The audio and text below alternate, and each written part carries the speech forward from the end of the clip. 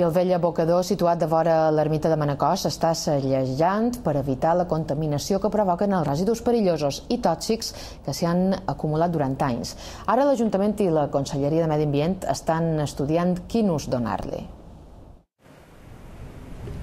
Després de dos anys i mig que la Conselleria de Medi Ambient adjudicàs l'obra de segellat de l'abocador de l'ermita, han començat les obres. El projecte posarà diferents capes geotèxtils, drenarà els gasos tòxics amb pous de captació i es crearà un sistema d'encarrilament d'aigües pluvials.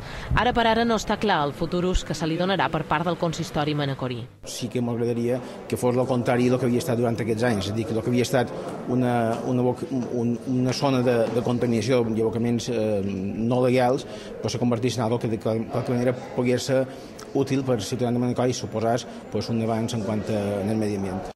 Per part dels Verds de Manacor, el 6 de setembre del 2008 el seu portaveu va presentar una al·legació per convertir un passiu per al medi ambient en un actiu per a la ciutat de Manacor. Vam fer una avaluació en positiu, és a dir, ens semblava perfecte el projecte de segellament, d'evitar que hi hagi més contaminació i després, eh, en positiu, donem una suggerència per l'ús futur de generació d'energia renovable.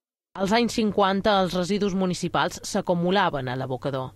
Unes dècades després, l'empresa encarregada de transportar-los, Contenidors Fullana, fou absorbida per Malció Mascaró, que va cedir el solable de residus a l'Ajuntament de Manacor.